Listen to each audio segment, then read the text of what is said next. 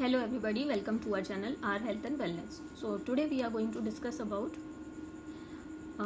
about history when people rebel तो revolt of 1857 के बारे में आज हम डिस्कस करने वाले हैं। तो इसके क्या रीजंस थे?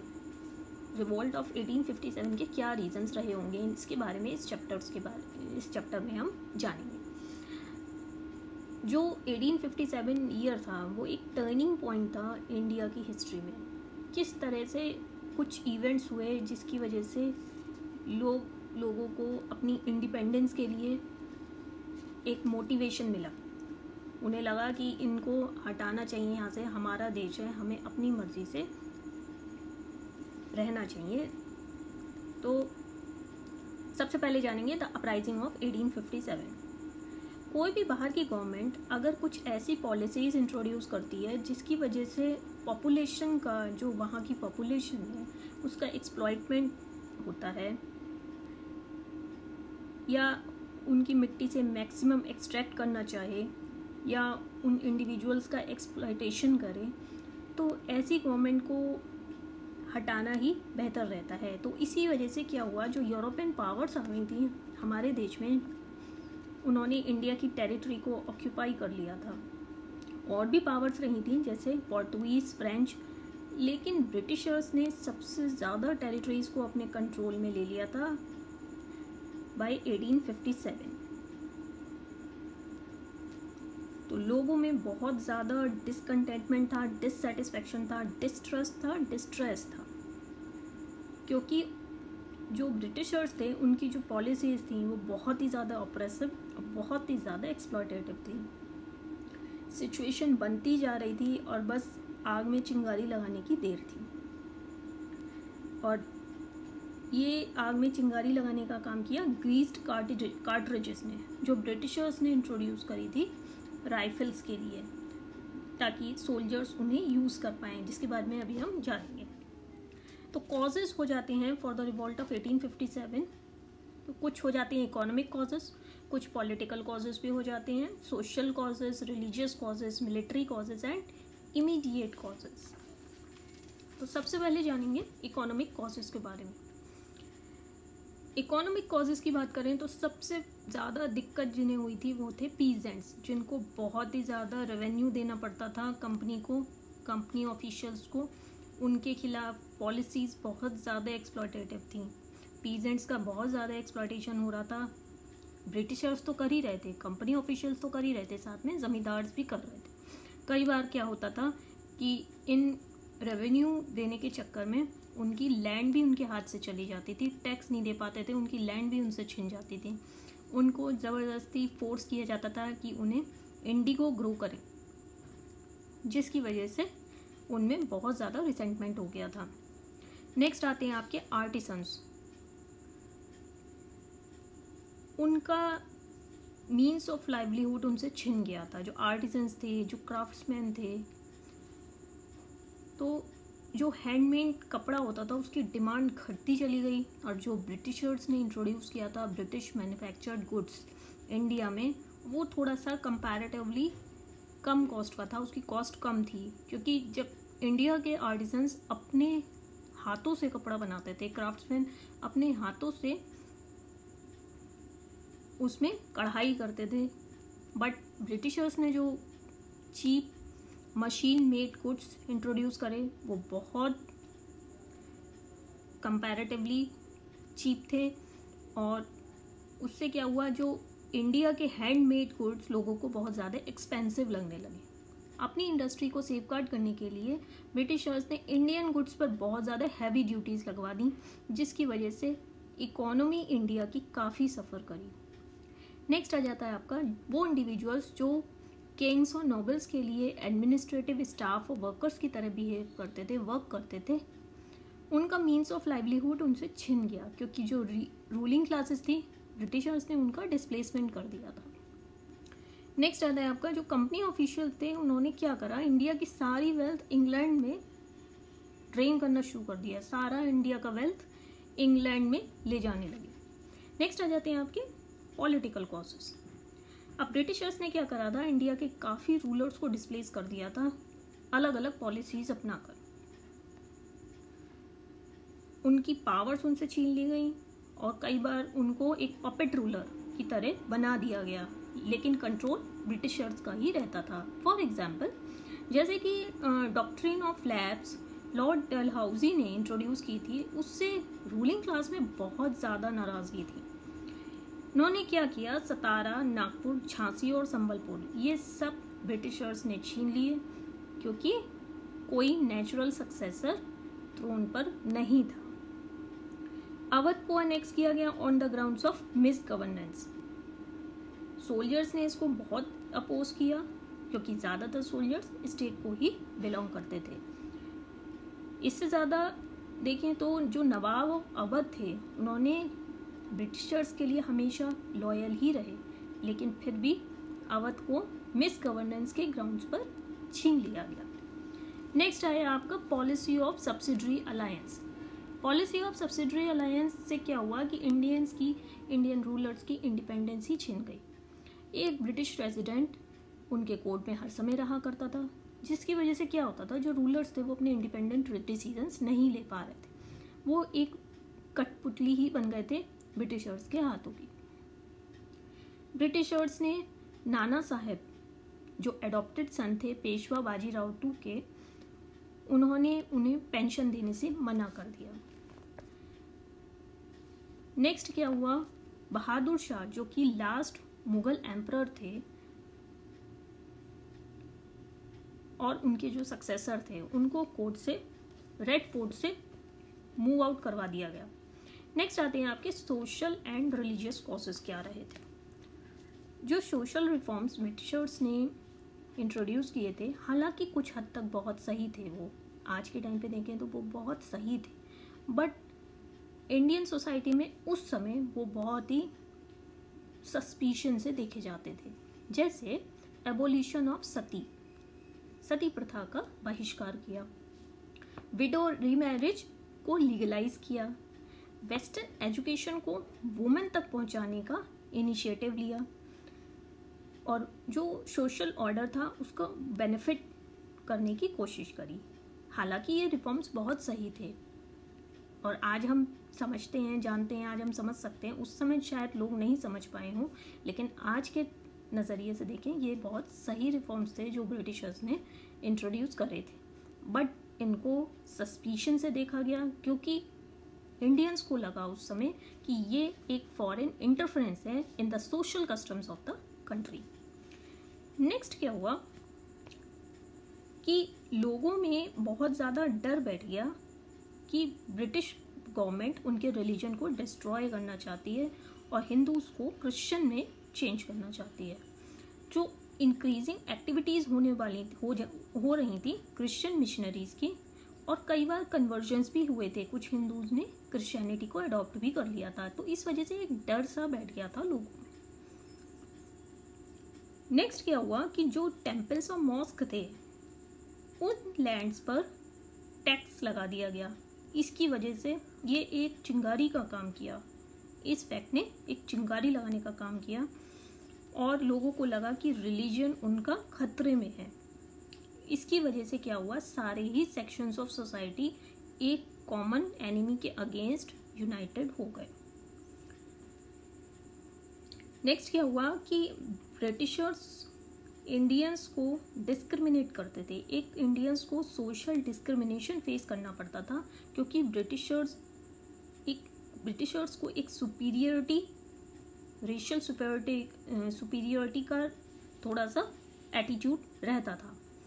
तो इस वजह से इंडियंस में बहुत ज़्यादा रिसेंटमेंट हो गई थी। जो एजुकेटेड इंडियंस होते थे, उनको प्रमोशंस नहीं दी जाती थी। उनको हाई ऑफ़िस में अपॉइंटमेंट्स नहीं दी, दिए जाते थे। तो इसकी वजह से इंडियंस ब्रिटिशर्स के अगेंस्ट हो गए थे। नेक्स्ट आता है आपका मिलिट्री कॉजेस इंडियन सोल्जर्स लगभग 85 परसेंट ब्रिटिश ट्रूप्स का फॉर्मेशन रहे थे। मतलब जितने भी ब्रिटिशर्स ब्रिटिश आर्मी थी उसका 85 परसेंट इंडियन सोल्जर्स कंप्राइज करते थे। तो उनको बहुत ज़्यादा ब्रिटिश रूल का जो कॉन्सिक्वेंसेस होते थे, वो फेस करना पड़ता था। जैसे जो इंडियन सिपोइस थे, उनको लुक डाउन देखा देखा जाता था। ब्रिटिश ऑफिसर्स उनको ज़्यादा तवज्जो नहीं देते थे। पे स्केल्स भी बहुत ज़्यादा डिस्क्रिमिनेटरी हुआ करते थे। ब्रिटिश सोल्जर्स को सैलरी ज़्यादा मिलती थी as compare to Indian soldiers Indian soldiers को प्रमोशंस नहीं दी जाती थी। मैक्सिमम उनको सूबेदार की रैंक ही दी जाती थी और जो पोस्ट ऑफ़ ऑफिसर्स थी, वो ब्रिटिशर्स के लिए रिज़र्व कर दी गई थी। अवध का जो एनेक्सेशन हुआ था, उससे और ज़्यादा उन्हें, उनकी फीलिंग्स हर्ट हुई थी। और इसके बाद क्या हुआ कि जैसे सोल्जर्स कभी कभी जैसे पूजा करते थे तो तिलक लगा लेते थे। तो उसके लिए भी एक ऑर्डर पास किया गया कि उनको ऐसा नहीं करना है, जिससे उनकी धार्मिक भावनाएँ आहत हुई इसके बाद क्या हुआ कि जो सोल्जर्स ओवरसीज ट्रेवल करते थे तो मतलब उस समय ये बिलीव था कि उससे लॉस ऑफ़ कास्ट रिकॉग्निशन हो जाता था। तो उनको ओवरसीज मतलब उस समय वो ओवरसीज ट्रेवल नहीं कर सकते थे। नेक्स्ट यह हुआ कि जो फॉरेन सर्विस अलाउंस था, उसको विड्रॉ कर लिया गया। जो ब्रिटिशर सोल्जर्स को दिया जाता था for fighting beyond the frontiers of the country अगर आप कंट्री के बाहर फाइट कर रहे हैं तो आपको फॉरेन सर्विस अलाउंस दिया जाता था। नेक्स्ट आता आपका इमीडिएट कॉस्ट क्या रहा?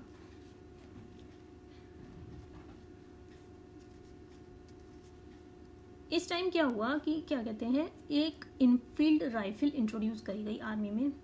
इसकी जो कार्ट्रिजेस थी, वो एक ग्रीस्ड पेपर कवर से कवर्ड रहती थी। तो जब आप कार्ट्रिज को राइफल में लोड करते थे तो ये ग्रीस्ड कवर को आपको हटाना पड़ता था। तो ये दांत से हटाना पड़ता था। तो इस तरह की न्यूज़ फैल गई, इस तरह की बात फैली कि ये जो ग्रीस है, जो आपको हटाना पड़ता है, वो काउ और पिक के फैट से बना होता है। तो हिंदूज को अगर देखें तो वो काओ को बहुत ही सेकंड मानते हैं। और मुस्लिम्स जो पिग का मीट है, वो ईट नहीं करते हैं, नहीं खाते हैं। तो इसकी वजह से दोनों ही कम्युनिटीज़ में एक रोष पैदा हो गया। इस इंसिडेंट को पॉपुलरली ग्रीस्ड कार्टरेजेस इंसिडेंट कहते हैं और ये एक इमीडिएट कॉज ऑफ़ रिवॉल्ट बन गया। पहला प्रोटेस्ट जो ग्रीस्ड कार्टरेजेस को लेकर हुआ वो राइज किया गया मंगल पांडे द्वारा। वो बिलोंग करते थे थर्टी फोर्थ इन्फेंट्री, जिनको बैरकपुर, कैलकटा के पास पोस्टिंग मिली हुई थी। उन्होंने उस कार्टरिजेस को यूज़ करने से मना कर दिया और उनको फांसी दे दी। ट्वेंटी फोर्थ अप्रैल 1857 में कुछ सोल्जर्स, जो कि मेरठ में पोस्टेड थे, उन्होंने कार्टरिज को यूज़ करना से मना कर दिया। तो नाइन्थ में 1857 में उनको बहुत ही सीवियर पनिशमेंट मिली, जिसकी वजह से बहुत ही ज़्यादा जो सोल्जर्स थे उनमें बहुत ज़्यादा रोष था, गुस्सा था, नाराज़गी थी, ब्रिटिशर्स के खिलाफ। टेंथ में 1857 में ये सोल्जर्स ने ब्रिटिश ऑफिसर्स को किल कर दिया और अपने जो इम्प्रिजेंट जो जेल में बंद सोल्जर्स थे, उनको रिलीज़ किया। और ये एक ऑफिशियल बिगनिंग थी for the great Indian uprising of 1857 ये सोल्जर्स फिर दिल्ली की तरफ़ मार्च कर गए। एलेवेंथ में 1857 को इन्होंने दिल्ली लैंड किया। वहाँ पर लोकल ट्रूप्स जो थे, उन्होंने भी उन्हें ज्वाइन कर लिया। उन्होंने दिल्ली को कैप्चर किया। और जो मुगल एम्पर बहादुर शाह ज़फ़र थे, उनको एम्पर ऑफ़ इंडिया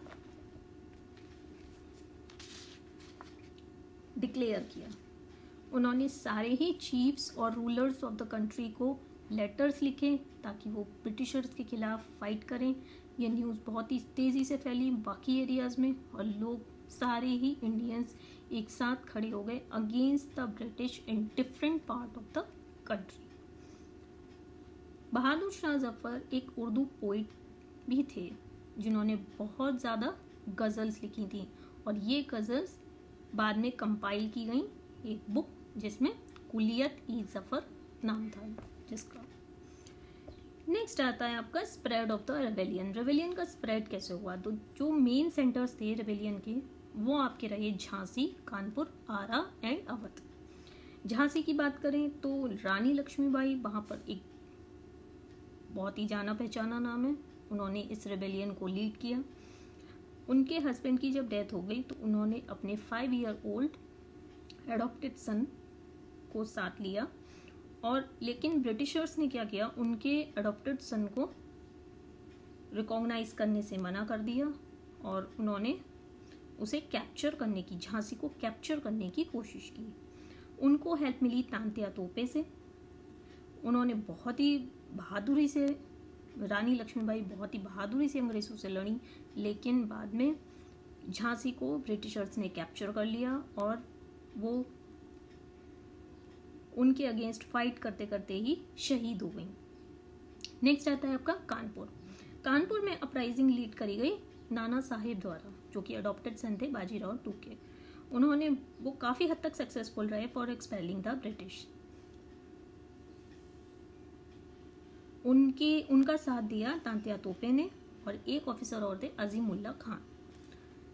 हालाँकि वो बहुत ही बहादुरी से लड़े, लेकिन कानपुर भी बाद में ब्रिटिशर्स ने कैप्चर कर लिया और नाना साहिब ने सरेंडर करने से मना कर दिया और वो सक्सेसफुली नेपाल की तरफ़ स्केप कर गए। नेक्स्ट आता है आपका आरा। वहाँ पर रेबेलियन लीड किया गया बाय राजपूत जमींदार कुंवर सिंह। बाय इन आरा, इन, जो कि बिहार में है। उन्होंने अवध में भी और सेंट्रल इंडिया में भी मूवमेंट को लीड किया। उन्होंने कई जगह बिहार में वो सक्सेसफुल भी रहे, लेकिन ब्रिटिशर्स के अगेंस्ट फाइट करते करते वो शहीद हो गए इन 1858 नेक्स्ट आता है बरेली। बरेली में बख्त खान ने उस रिवोल्ट को लीड किया। वहाँ पर भी वो लड़ते लड़ते अंग्रेज़ों से लड़ते लड़ते शहीद हो गए। अवध में बेगम हज़रत महल, वहाँ पर लीडिंग स्पिरिट थी behind the uprising in Awadh उनकी हेल्प करी अहमदुल्ला शाह ने, जो कि मौलवी थे फ्रॉम फैजाबाद। अवध फोर्सेस